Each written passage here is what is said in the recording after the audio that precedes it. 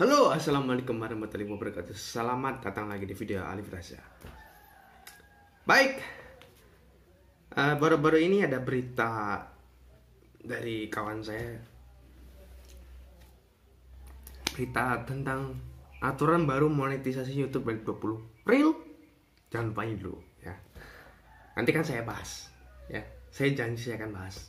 Hari ini juga di detik ini juga simak terus.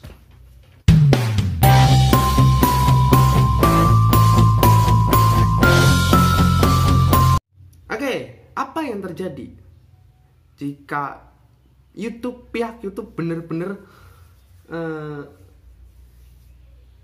pihak YouTube itu bikin aturan baru tentang monetisasi yang tadinya kan empat eh, sejak 2018 itu YouTube bikin aturan 4000 jam tayang dan 1000 subscriber untuk untuk mendapatkan program partner YouTube.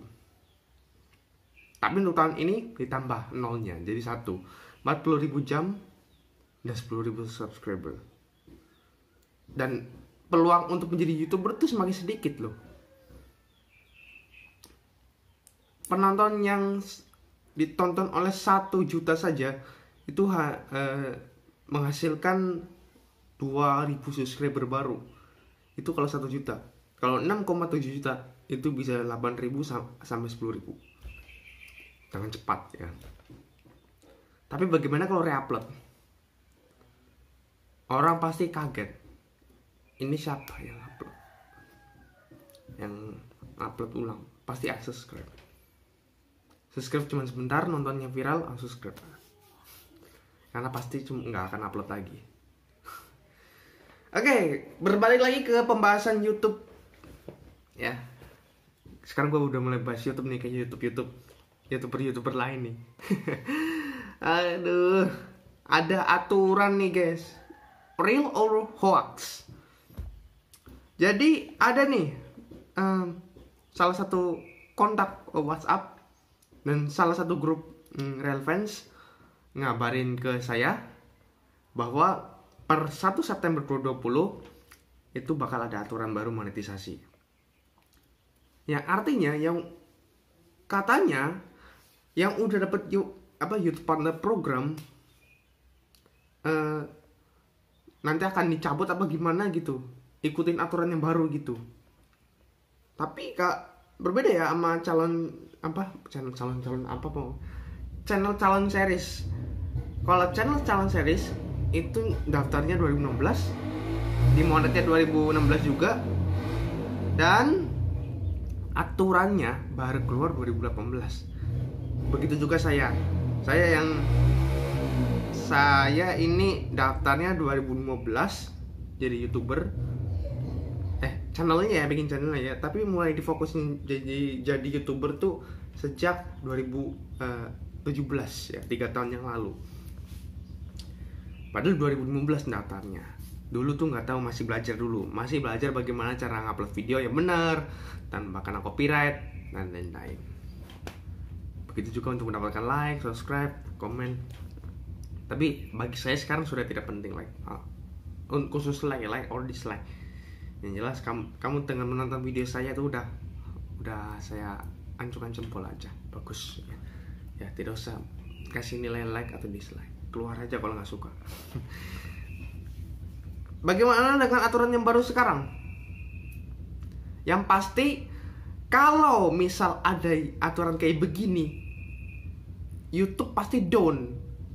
Nah, sekarang tahu kan ada aplikasi lagi yang tujuannya sama mengupload. Terus, tapi ini kontennya di- dibatasi 15 detik sampai 1 menit. Bahkan 8 detik. Video 8 detik like-nya luar biasa banyak. Jadi, kalau misal YouTube melakukan hal itu, pasti down. Mereka beralih ke aplikasi sebelah untuk eh, menjadi influencer, menjadi famous, famous karena aplikasi itu, bukan karena YouTube lagi. Walaupun YouTube itu menghasilkan uang, tapi sekarang, sekarang orang orang viral karena aplikasi sebelah yang tidak bisa saya, saya, saya sebutkan di sini.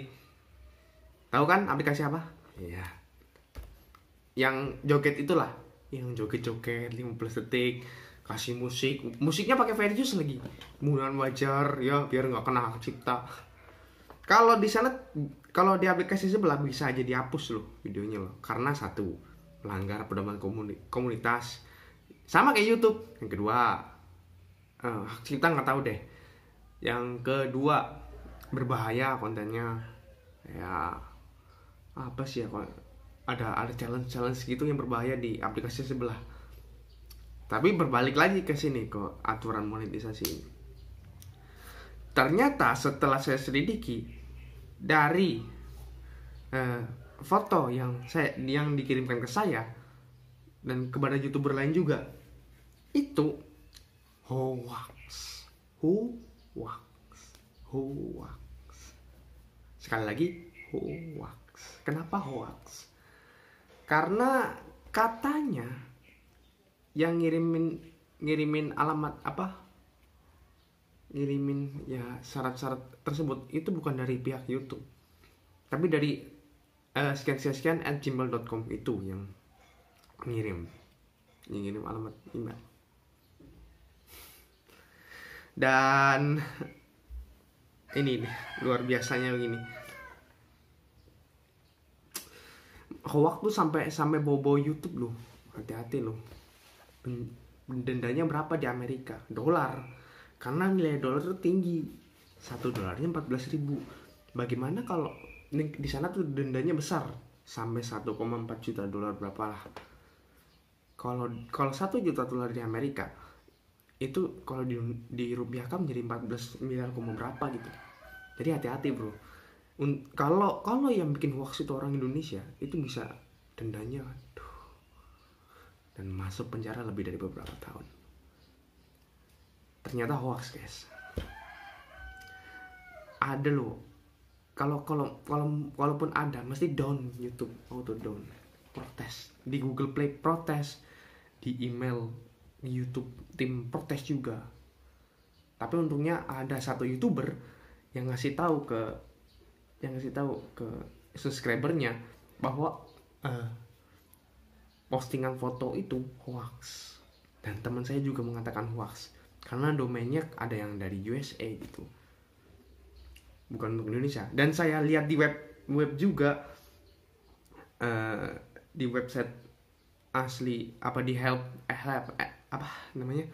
Help and support YouTube juga membuktikan masih dengan aturan yang 2018 yaitu adalah syarat 4000 jam subscriber ya syarat 4000 jam subscriber dan 4000 jam 4000 jam uh, watch view ya watch time ya itu 4000 4000 jam bukan subscriber ya. Tapi kalau jumlah subscriber cukup 1000 aja.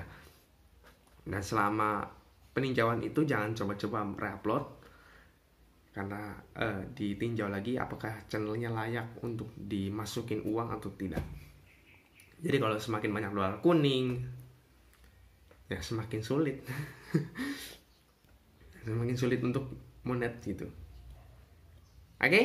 ringkasannya yang jelas uh, dari video yang saya bahas ini aturan monetisasi 2020 40.000 jam tayang dan 10.000 subscriber itu hoax. No hoax. Karena teman saya juga ngirim tapi kalau ada beneran pasti down lihat aja. Kalau kalau beneran ada dan YouTube ngasih tahu lewat email titik at youtube.com pasti down thanks for watching. Semoga bermanfaat video ini. Sampai jumpa